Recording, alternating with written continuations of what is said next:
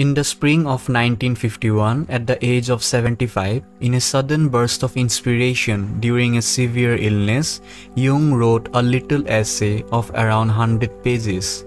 It was virtually dictated to him from the unconscious, and as soon as it was completed, his illness was over. In July 1951, he writes, If there is anything like the spirit seizing one by the scarf of the neck, it was the way this book came into being. Two years later, Jung described this episode as such. The experience of the book was for me a drama that was not mine to control. I felt myself utterly the causa ministerialis of my book. It came upon me suddenly and unexpectedly during a feverish illness I feel its contents as the unfolding of the divine consciousness in which I participate, like it or not. This book was titled Answer to Job. In appraisal of this book, Edward Edinger says, In my opinion, it has the same psychic depth and import as characterize the major scriptures of the world religions. In accordance with the modern mind, it differs from these scriptures in its modesty of expression and in the objective consciousness that illuminates it. One should not be deceived by its personal, unpretentious style. It is this very quality that demonstrates its authenticity. Although he describes the most profound encounters between the ego and the archetypal psyche, Jung never falls into an identification with the archetype. His attitude is always that of the limited human ego. It is never inflated or grandiose. Answer to Job lays the groundwork for a new worldview, a new myth for modern man, a new dispensation that connects man to the transpersonal psyche in a new way. In Jung's words, his insights may well involve a tremendous change in the God image. To understand answer to Job, a new dispensation is very much necessary, but there can be no question of a new dispensation as long as one is comfortably contained in the old one. Jung writes, I am not addressing myself to the happy professors of faith, but to those many people for whom the light has gone out, the mystery has faded, and God is dead. For most of them, there is no going back, and one does not know either whether going back is the better way. To gain an understanding of religious matters, Probably all that is left us today is the psychological approach.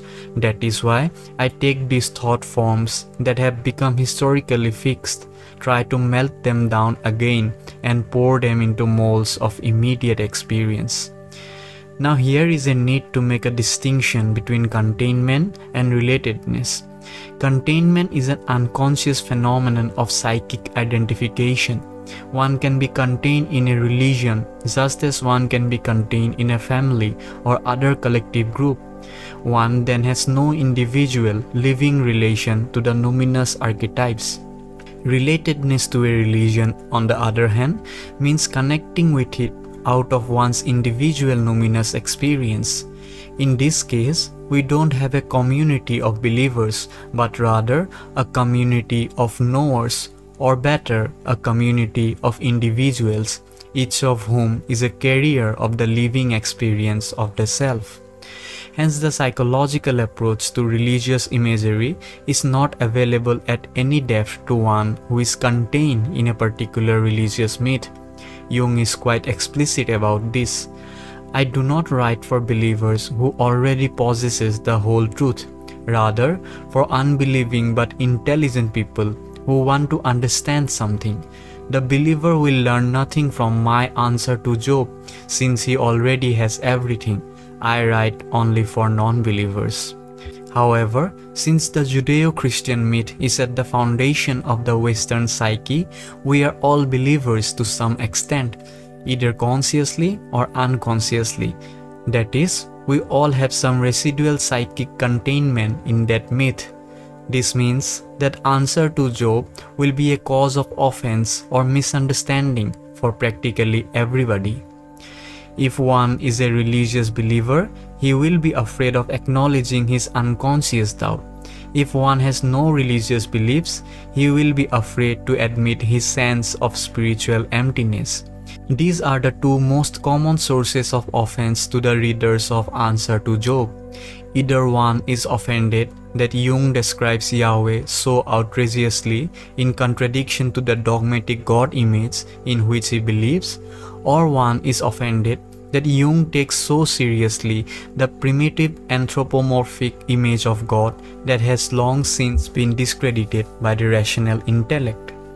Answer to Job is a psychological commentary on the entire Hebrew Christian myth as it is enshrined in the Bible in both the Old and the New Testaments.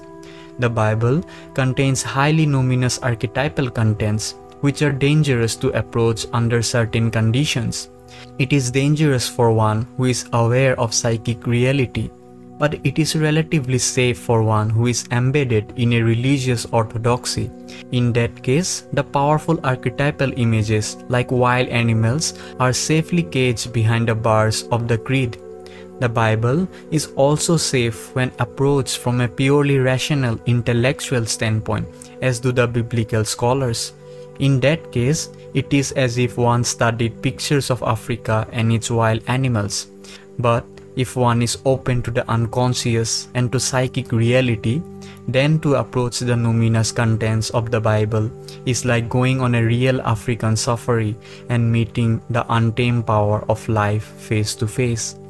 Psychologically, the danger is inflation, to be eaten up by an archetype. The best protection is to be connected with one's wholeness, most definitely including one's dark and guilty limitation. As Jung tells us, in these circumstances, it is well to remind ourselves of Saint Paul and his split consciousness. On one side, he felt he was the apostle directly called and enlightened by God, and on the other side, a sinful man who could not pluck out the thorn in the flesh. When Marie-Louise von Franz once asked Jung how he could live with the knowledge he had recorded in answer to Job, Jung replied, I live in my deepest hell, and from there I cannot fall any further.